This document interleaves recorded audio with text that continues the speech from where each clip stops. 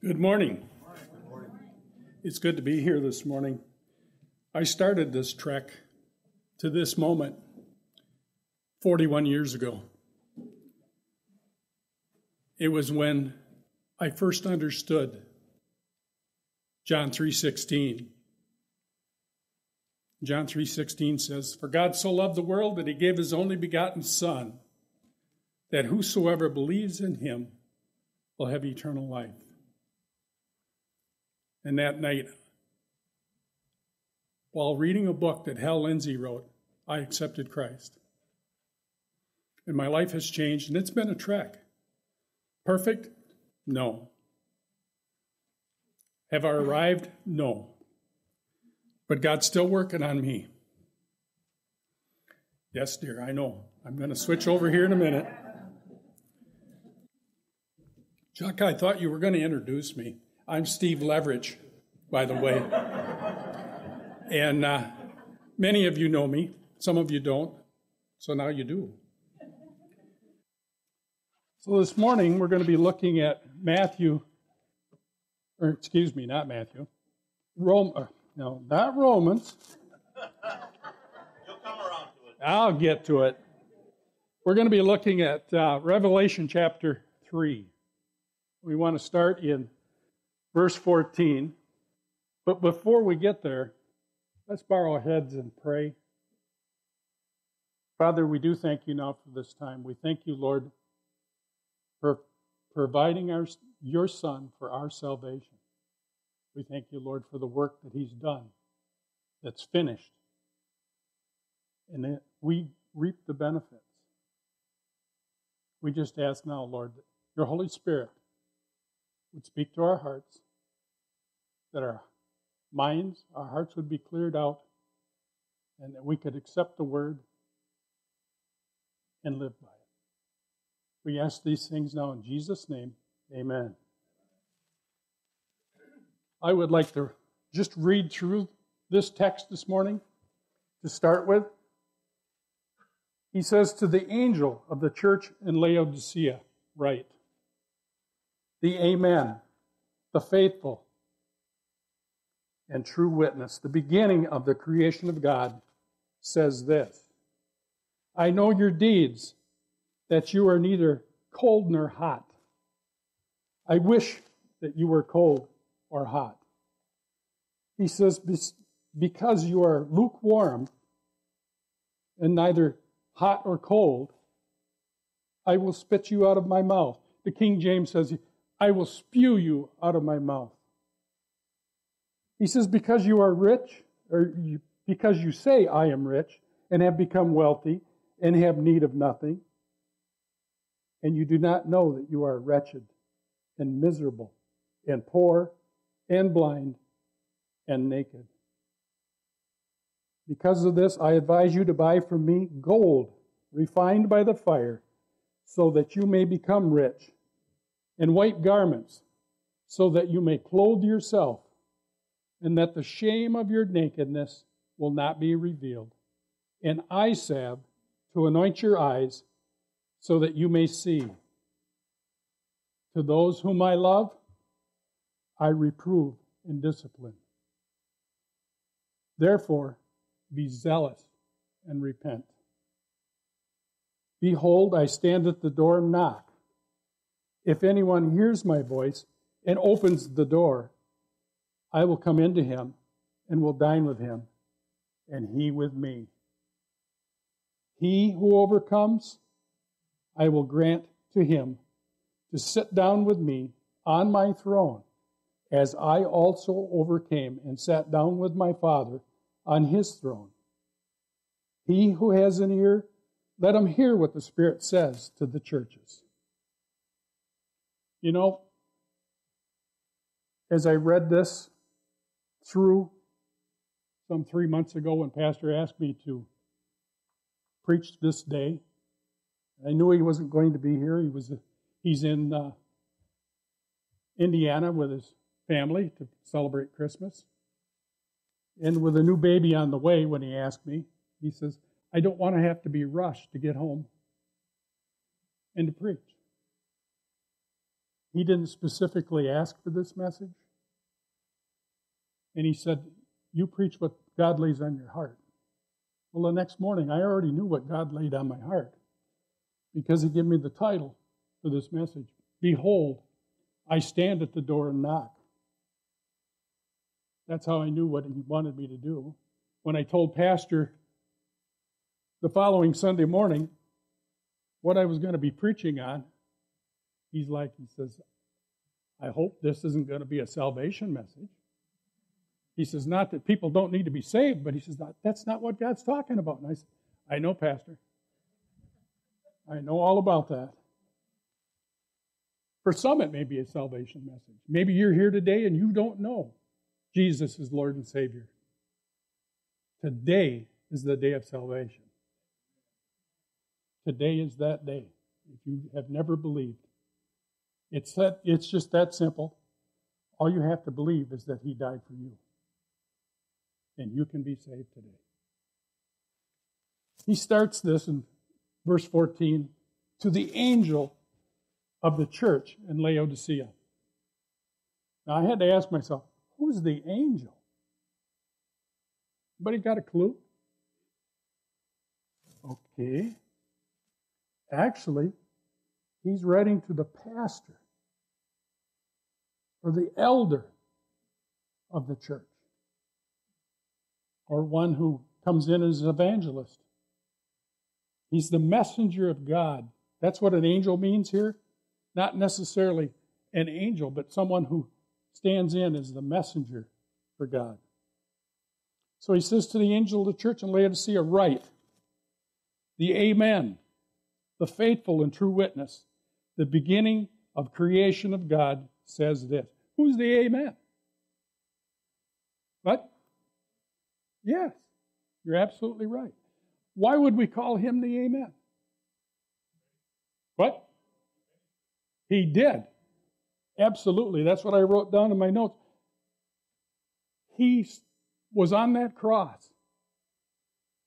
He was being crucified some 2,000 years ago. And when he was about to that point, he prayed and said, Lord, here's my spirit. But then he turned and he said, It is finished. Then he gave up the ghost. It is finished. What's finished? Have you thought about that? Something else happened at that moment, too. We're going to check on that in a minute. But when he said, It is finished, you can find that in John chapter. Oh, I got to look at my notes. I got a good memory, but sometimes it's uh, a little faint. John chapter 19, verse 30. You don't have to turn there. But that's where he says, It is finished. You see, in the Old Testament, after the fall of man, God had made a way that we could at least have fellowship with Him. It was a way of covering of our sins. And that was basically once a year, the priest, the high priest, was able to go into what was called the Holy of Holies. He started out in the holy place, and he went around a veil and went in there to make an offering for our sins, or for the sins of those people in those days. And that was all just part of him loving us and not giving up on the human race after the fall. But when Jesus was on that cross, he put an end to that. That's why he said, It is finished. When he put an end to that, when he said those words at that very moment, that veil, which was a woven material, almost four inches thick, was torn from top to bottom. No one was there to do it. It just happened because God agreed with what Jesus just said happened. It is finished. And He made a way for us to be able to go to Him directly without a priest in between. That's through Jesus Christ because He paid the price. It's like an exclamation point when you think about it. The Amen. Hallelujah. Look what he's done for us. Look what the Lord has done. Isn't God awesome? He's the faithful and true witness.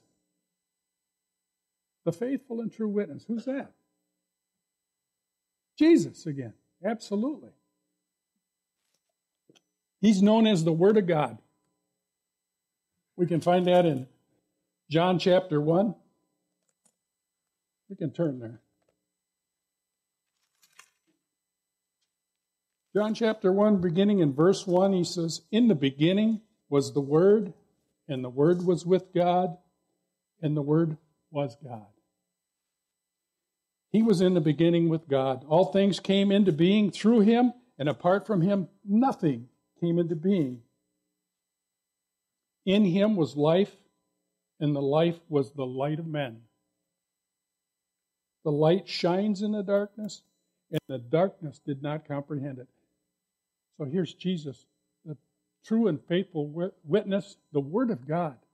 You know, you can take your Bible at any time and you can cross reference it, you can read it, you can believe what it says.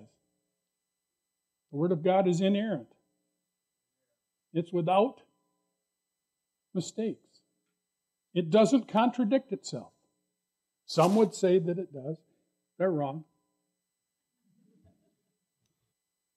Uh, I also had another verse here that Mitch doesn't have back there, and that's Hebrews chapter 1. You want to turn there? Hebrews chapter 1. God, after he, he spoke long ago to the fathers and the prophets in many portions and in many ways, in the last days has spoken to us in his Son, whom he appointed heir of all things. Through him also he made the world. See? He's the creator. And the next part here talks about him being the creator. It says the beginning of the creation of God. He's the source of the creation of God. He was there. He's the origin of the creation of God. Jesus is the creator. You say, well, how can he be the creator? I thought God created. Isn't Jesus God? Yes, he is. Amen. So he's just laying out his credentials here as we get into more portions of Scripture. It says he's the beginning, the creation of God, and he says, he says this I know your deeds. Who's going to know us any better than the guy that created us? The God that created us. He says, I know your deeds, that you are neither cold nor hot. I wish that you were cold or hot. Jesus uses these words, I believe, to the city of Laodicea and the church in Laodicea for one reason. It should speak to their hearts. You'd say, why? Well, Laodicea was known for four things at least. One of those things was they had had a problem with their water supply. Well, it was a growing city. There was some other industries going on there, and they needed a constant water supply. And at times in the dry season, it dried up. Whether they had a shallow well or whether there was a spring there, I don't know. But I've read that they had decided they needed to grow, they need water constantly. And so they checked around in an area around Laodicea and they found a hot spring that was actually a little higher than the city. And so they constructed aqueducts. Aqueducts then were probably made out of stone. They might have been trenches in the rock. I don't know. But what happened was when that water, which was a hot spring, so it's hot, it's pure water because it's hot. It killed all bacteria. And yet, when it would go through this aqueduct and reach the city of Laodicea, it was lukewarm when it got there. And I believe that's why Jesus talked about this. Because their hearts were lukewarm. And when I mentioned Laodicea here, who was he writing to when he was writing to Laodicea? You remember? What? The church. Who's the church? Believers. Absolutely. This was written in 95 AD by John. It was written down by John. It was dictated by Jesus himself. Jesus knew their hearts. He says, I know your deeds, that you are neither cold nor hot. I wish that you were cold or hot. And he says, So because you are lukewarm, neither hot nor cold, I will spew you out of my mouth, or spit you out of my mouth. Amazing. He knows their hearts. Hmm. Written to the church, so they're believers. Can a believer be lukewarm? Obviously.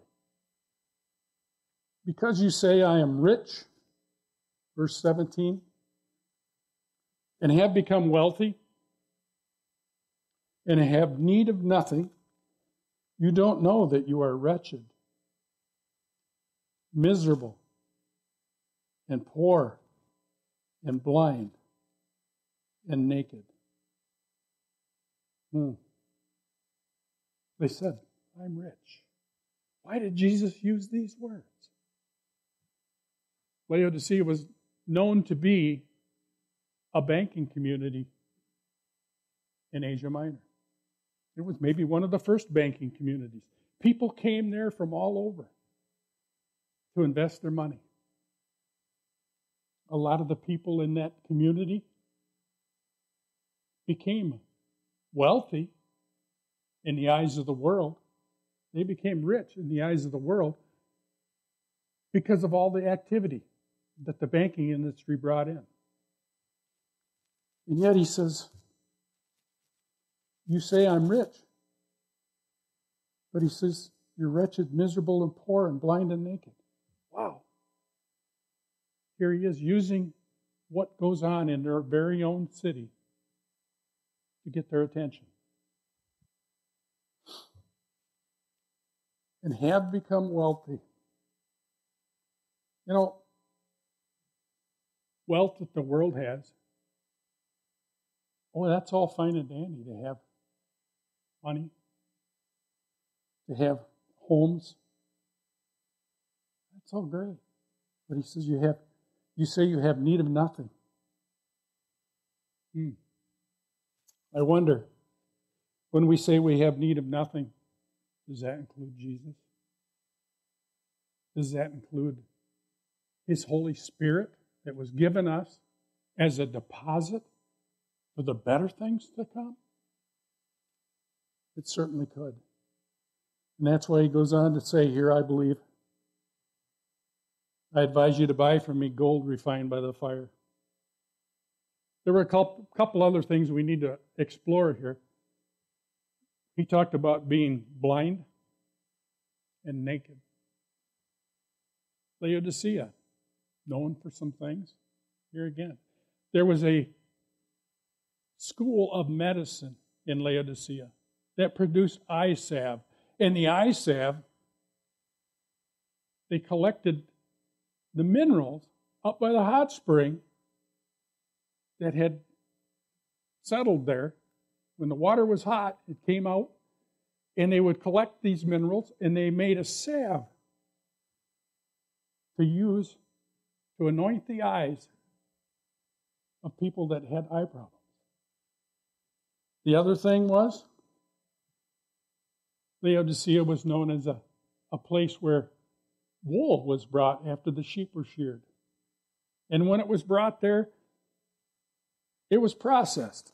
And I don't know if you know what a sheep looks like before it's sheared. And I don't know if you realize what a sheep's wool looks like after it's sheared. But it's not clean. Everything that sheep's been in, that wool has got on it. And so what they did is they washed the wool in this lukewarm water. They cleaned it, and then they they didn't necessarily dye the wool if they wanted it white, but they bleached it to turn it white. And they also, along with that, they did dye cloth and wool in this community. So there was that industry going on too. And Christ used all these things to get their attention so they'd understand what he was trying to say for them. He says, at this point, he said, You are wretched, miserable, poor, blind, and naked. As I asked before, can a Christian be all those things and still be a Christian? Can a, can a Christian be all those things and still be a believer? Absolutely, because he talks about it right here. In my own walk with Christ, that which started 41 years ago, when I was the tender age of 26. So now you know how old I am. It was in 1979, by the way. God didn't change me overnight. And I didn't realize that the moment I asked Christ into my heart, I got the Holy Spirit. Did you realize the fact that when you accepted Christ, that you got the Holy Spirit? You may know that now, but did you realize it at the time? Absolutely not. We probably didn't. Do you realize that when you accepted Christ, it was only by the work of the Holy Spirit that you were able to understand what Christ did for you on that cross? He says, I advise you to buy from me gold refined in the fire so, so that you may become rich. Not the riches of Laodicea, but the riches that you're only going to have really in heaven in abundance. Yes, we have riches here if we listen to the Holy Spirit. So that you may become rich, in white garments, so that you may clothe yourself. See, that's what the cloth industry, the wool industry, why Christ used that. And he says, and that the shame of your nakedness will not be revealed.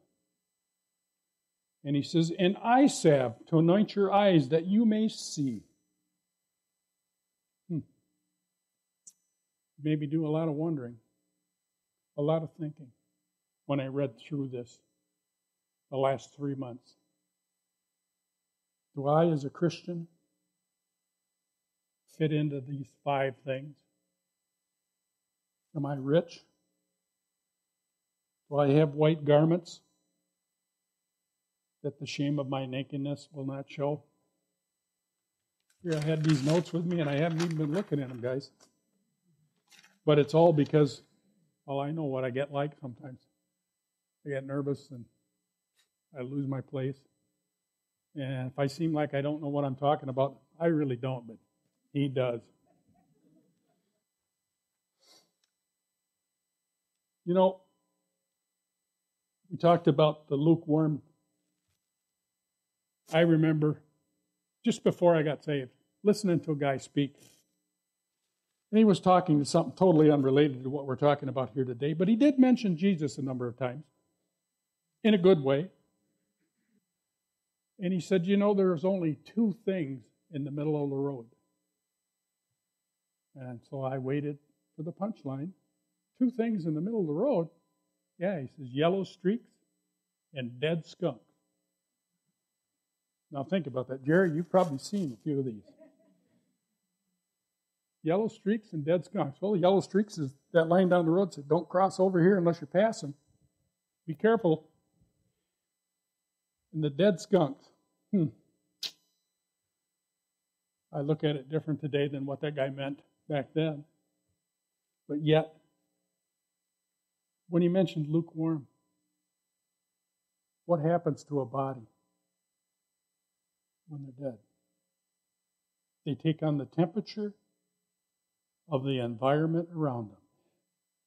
A medical examiner, if you ever watched any of these shows on TV, will take a temperature of the liver to try to guess, and that's what it is, it's an educated guess, of how long this person's been dead so they can try to solve the mystery. But the dead body takes on the temperature around them. I think Christ was saying, You act like you're dead.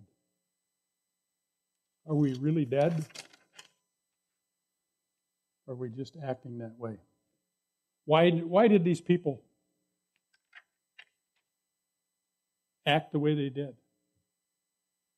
Why did he wait and speak to him after such a long time?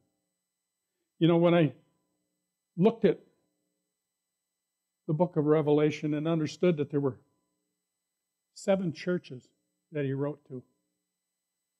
Seven churches. Hmm. Seven. Seven is the number of perfection for God. Seven. So you think these churches were perfect? No. Perfection for God, though. Hmm. Maybe, just maybe, he recorded these seven letters for us to go and read and to understand before the church age ended where we were at. What was keeping us from being what he wants us to be. I believe in my heart that's what he was doing here. You know, the nakedness thing, I'm still thinking about that. Like, but when God created man and put him in the garden with his wife, what does it say? Genesis chapter 3, verse 25. You don't have to turn there. Mitch, you don't have to go there because I didn't give it to you anyway. It says in verse 25, and the man and his wife were both naked, and they were not ashamed. Oh, how can that be? This is pre fall. Hmm. Well, if I turn the page and go a few more verses, it says in verse 7 that of chapter 3 then the eyes of both of them were opened that was after they had partaken of the fruit or part of the fall. And they knew that they were naked. And they sewed fig leaves together and made themselves loin coverings. And they heard the sound of the Lord walking in the garden, verse 8, in the cool of the day. And the man and his wife hid themselves from the presence of the Lord. God walked among the trees of the garden every morning and he would see them there and they would talk, they would communicate with God. They had this relationship that obviously the people in Laodicea did not have. God called to them and said, Where are you? Because they didn't show up that morning, they hid themselves. He said, I heard the sound of your voice or I heard the sound of you in the garden, Adam says, and I was afraid because I was naked, so I hid myself.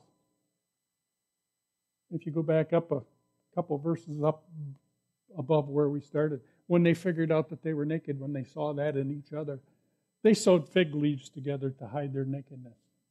Did it hide it? Not from God. The eye salve Did they see like God saw? Not at this point. Not the Laodiceans didn't. They weren't seeing themselves as God was seeing them. So he says, You need to anoint your eyes. You need to anoint your eyes so you can see you as I see you. When he says anoint, that speaks of what? To your heart. The Holy Spirit anoints us. Hmm, maybe that's where we need to turn, is the Holy Spirit. God gave him to us for a reason. He said, he, Jesus said before he left, He says, When I go away, I will send a helper He will be like a guarantee, a deposit of the hope of the things to come. Hmm. But how do we get there? He talked of that fire. He says, I advise you to buy from me gold refined by the fire, so that you may become rich in white garments, so that you may clothe yourself, and that the shame of your nakedness will not be revealed, and eye salve to anoint your eyes, so that you may see. But the fire? Wow. What does that mean? What kind of fire? Paul speaks of the fire. 1 Corinthians 3. And I want to start in verse 9 and go through 15. He says, For we are God's fellow workers, Paul says. You are God's field, God's building. Did you know that God was building you? From day one, when you believed, He started building in you. According to the grace of God which give, was given me, Paul says, like a wise master build, builder, I laid a foundation, and another is building on it. Who's that other? We are building on that foundation. If you've accepted Christ as your Lord and Savior, you're building on that foundation, is what he's saying. He says, For no man can lay a foundation other than the one which is laid, that which is Jesus Christ. Now, if any man builds on the foundation with gold, here's gold, silver, precious stones, hay, wood, straw, each man's work will become evident, for the day will show it, because it is to be revealed. There's coming a day, folks. And the fire itself will test the quality of each man's work. Now, and we're not talking about works to get to heaven. We're talking about what God is doing in you after you're saved, if you let Him. We're talking about what we do for God to bring others to the fold, into this salvation so great and wonderful. It says he'll test the quality of each man's work and if any man's work, which he has built on, on that foundation remains, he will receive a reward. Let me ask you this Is that reward necessarily for today? Oh, it could be. But he's talking about future reward. You will receive a reward. He didn't say you're going to get it right now. If any man's work is burned up, verse 15, he will suffer loss. Well, if it stopped right there, I think we'd all be in trouble. But he says, But he himself will be saved, yet so as through fire. You see, a man can be saved, or a woman, and not live for God but he's still saved. Yeah, anything we've done in this temporal body, but not in the eternal body, what we've done in this temporal body will be tested with fire.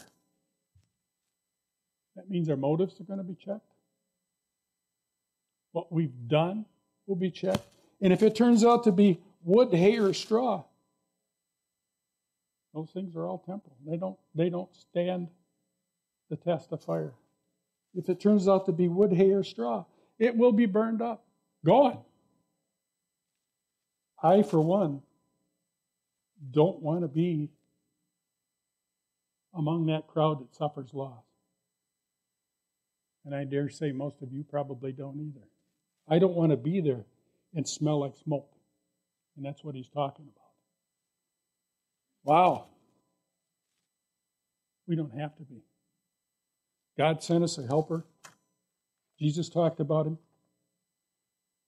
All we need to do is tap in to the power that the Holy Spirit brings us. You know, In verse 19, he says, To whom I love, I reprove, reprove and discipline. Therefore, be zealous and repent. All nice words until you understand them. Not going to be easy, what he's saying. When you were a child growing up, and your father had told you to do something, he says, When I come home at the end of the, my day at work, he says, I expect these things will be done. Were they always done? No. Well, our father, our earthly fathers, rebuked us. Why? Because they wanted that job done, that chore done? No. Because they loved us. They wanted to instill in us a responsibility that they placed upon us to make us grow. You know, when I thought about this, it's like I can remember a few years ago, there was a movement.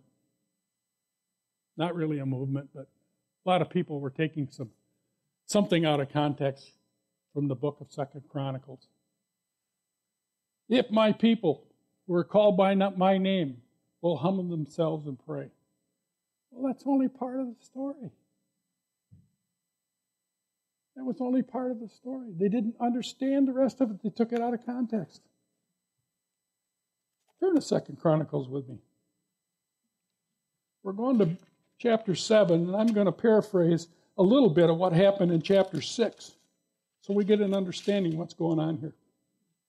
In chapter 6, Solomon was following up on what his father wanted to do. His father was David. David always wanted to build a temple for God, a house for God, a place of worship, other than that tent of meeting. He thought God needed this house. And God didn't let him because David had fell well short in a few areas. But in chapter 6 of Second Chronicles, God lets Solomon do this. He lets him build this house for God. And he gets this house built, and it starts in verse 12, and I'm just going to tell you about it. Solomon wanted to dedicate what he had built to God. And as he dedicated this in prayer, it's one of the longest prayers you're ever going to see. Starts in verse 12 of Second Chronicles 6 and goes through verse 42. You don't have to turn there, but understand this that Solomon set a precedent for all of us.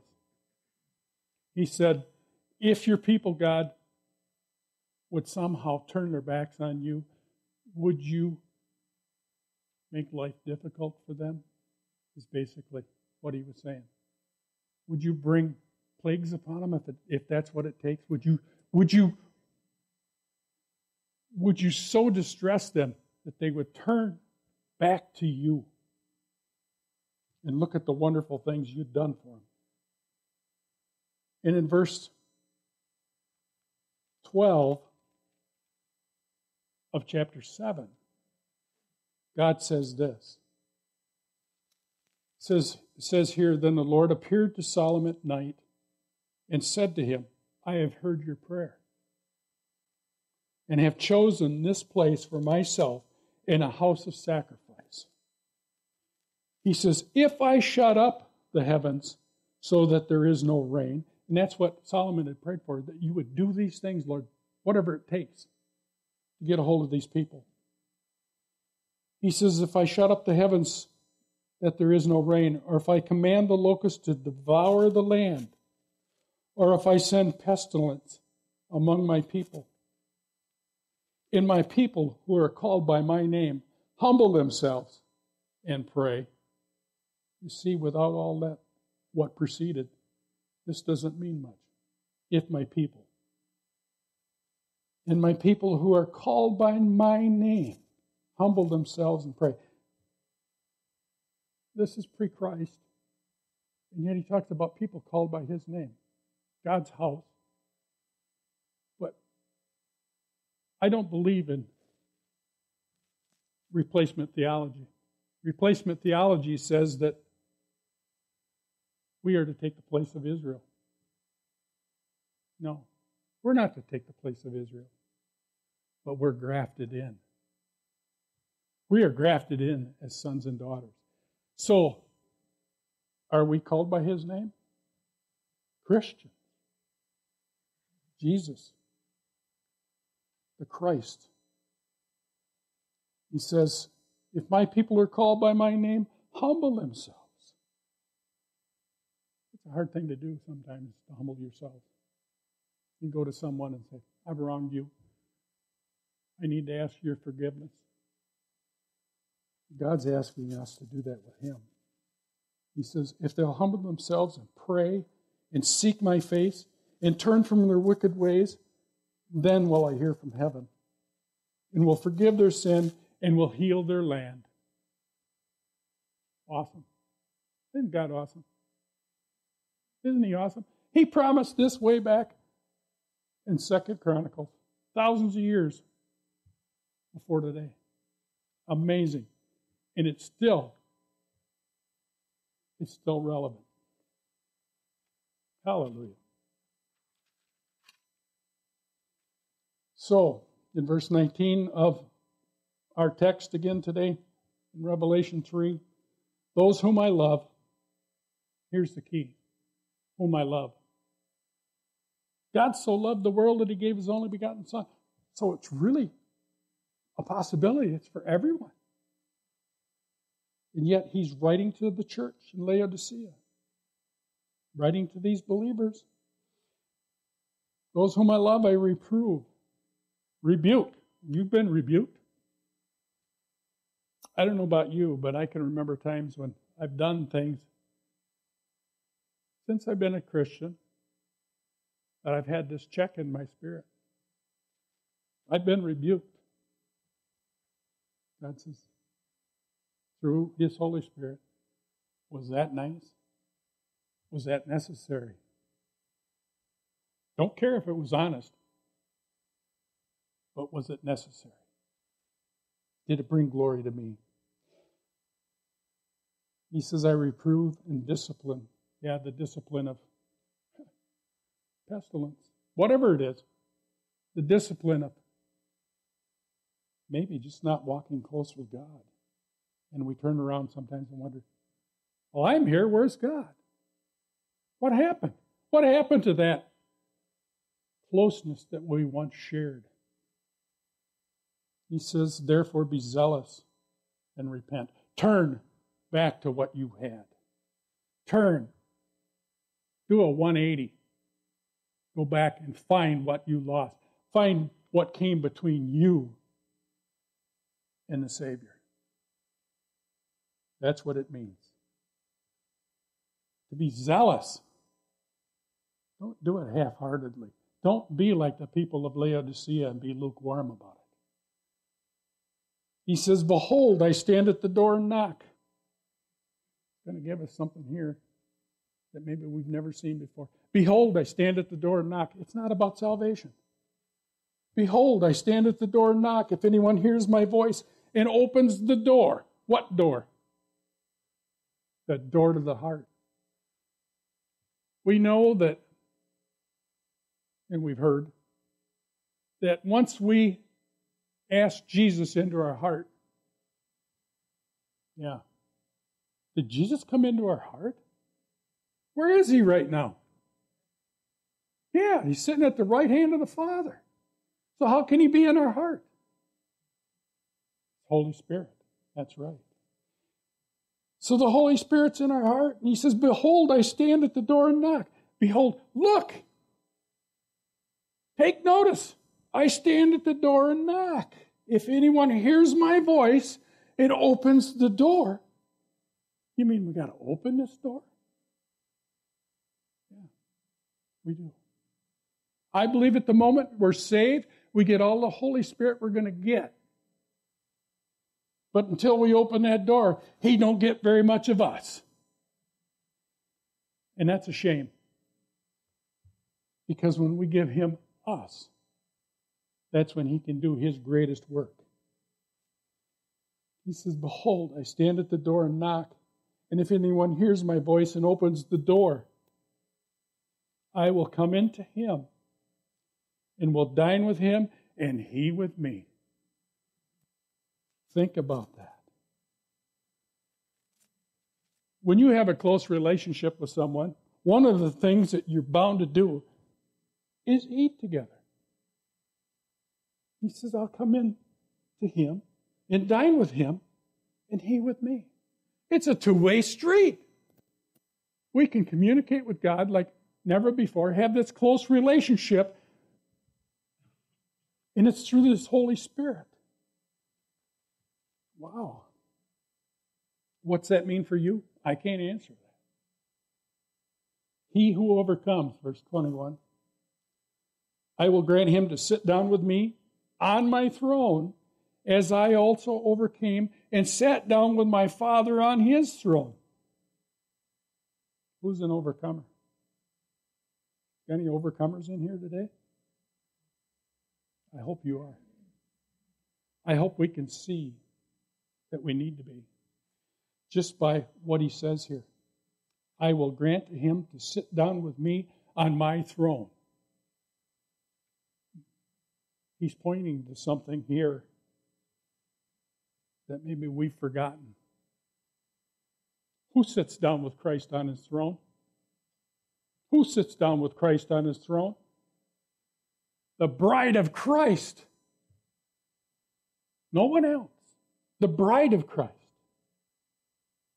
The bride of Christ has got white garments. The bride of Christ, the church, is to be without spot or wrinkle in her arraignment. Raiment, excuse me. To be without spot or wrinkle, we can become the bride of Christ. Turn with me. I want to get this down just a little better for all of you. For me too. Matthew chapter 25. Mitch, you've got that up there? He does. Matthew chapter 25. It's the parable of the ten virgins. Why does that have to do with us? Let's read it. Then the kingdom of heaven will be comparable to the ten virgins who took their lamps and went out to meet the bridegroom. Here we got the picture. The ten virgins, the bridegroom. You see, there's more than one of us here going to be the bride of Christ. Guys, hang on, this is going to be a different experience for us. Gals, they took their lamps and went out to meet the bridegroom. Five of them were foolish, it says, and five were prudent or wise. For when the foolish took their lamps, they took no oil with them. Hmm.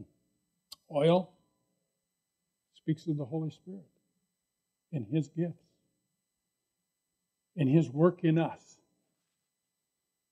They took no oil with them, but the prudent took oil in the flasks along with their lamps. Now, when the bridegroom was delaying, they all got drowsy and began to sleep. Sounds like us today, doesn't it? But at midnight, there was a shout Behold, the bridegroom! Come out and meet him. Verse 7 Then all the wise, or all those virgins rose and trimmed their lamps. All of them. All ten. Remember? Five had oil with them in a flask, five didn't. Hmm. The foolish said to the prudent, Give us some of your oil, for our lamps are going out. But the prudent answered, No, there will not be enough for us and you too. Go instead to the dealers and buy some for yourselves. It's too late, guys. It's too late. Be ready. See, I heard those words after I had agreed to speak, fill in for Pastor, and I'd already told him what the message was going to be. And I'm out working in my yard.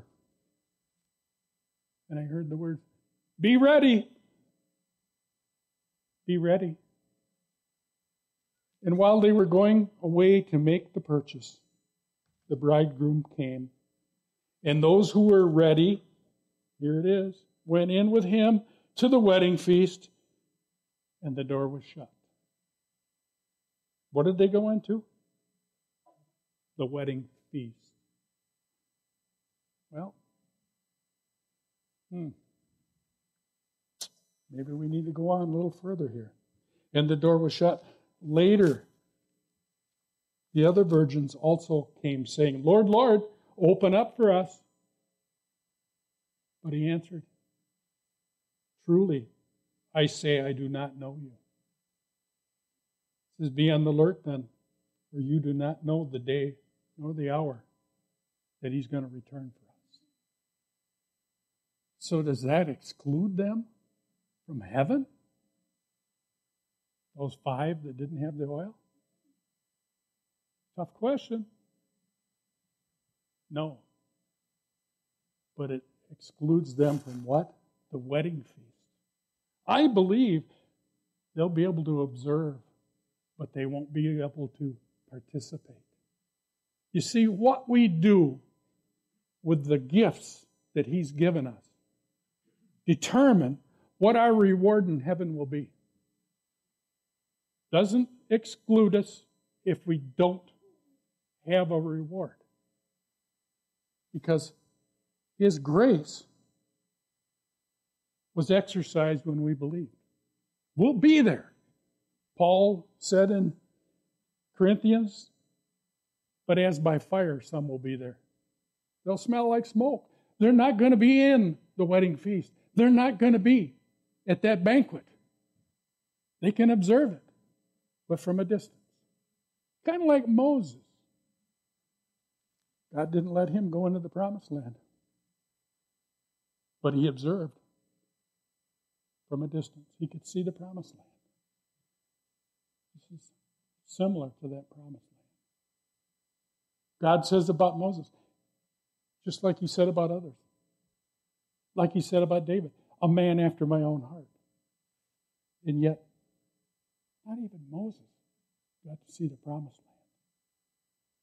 So, where are we today? That's a question you have to answer. I can't answer it for you. He goes on in our original text here in verse 22 He who has an ear, let him hear what the Spirit says to the churches. The Spirit of God is speaking today to, to us, to our hearts. He's calling us to not only run the race, but to finish it. You know, the Boston Marathon, I think about a race as being not a sprint to the finish, not like stock car racing, but as a marathon. There are thousands of people that enter the Boston Marathon every year. And there's those that are in the front and take off and they sprint for the first 100 yards. And then they slow down to this marathon pace, but they stay up front. Then there is the crowd that's in the middle.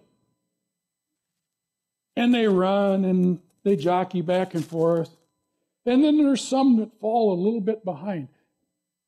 And I think back of, huh, the cold or hot.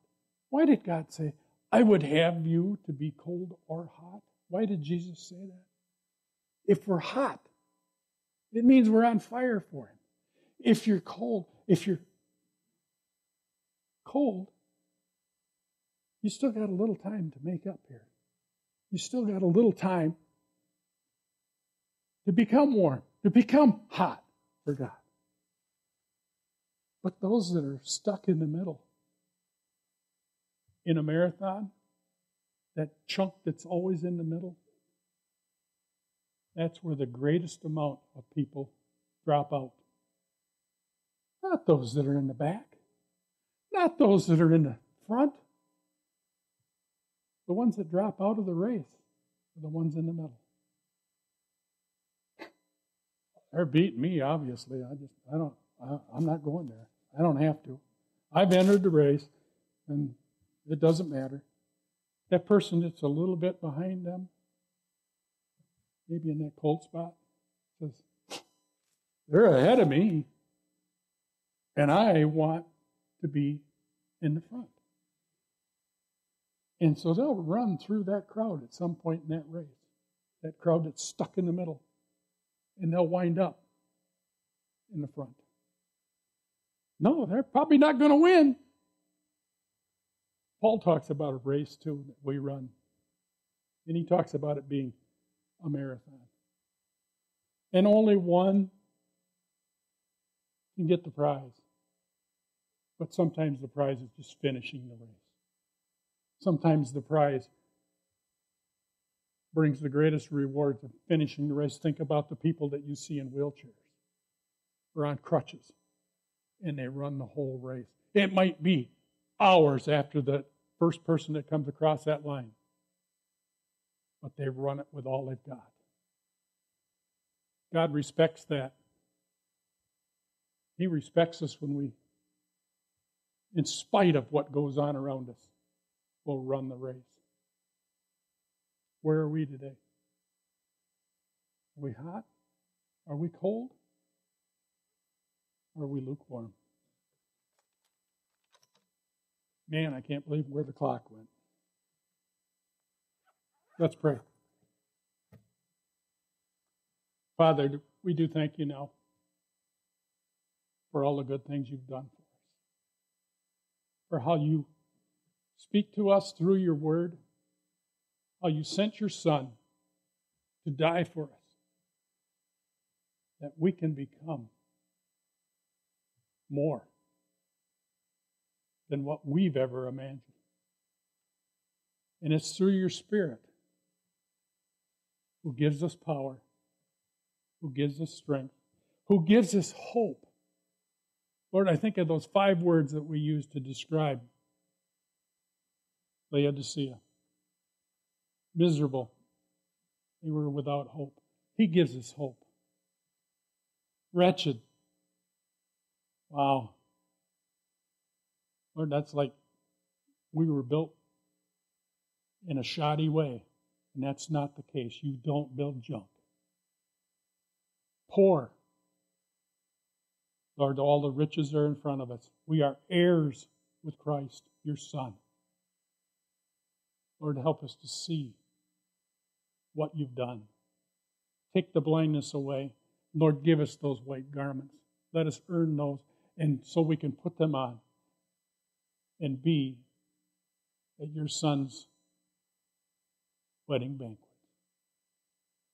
Lord, I thank you today for your spirit and how he's spoken to us. And I thank you, Lord, you still work in hearts. It's in Jesus' name that I pray these things. Amen.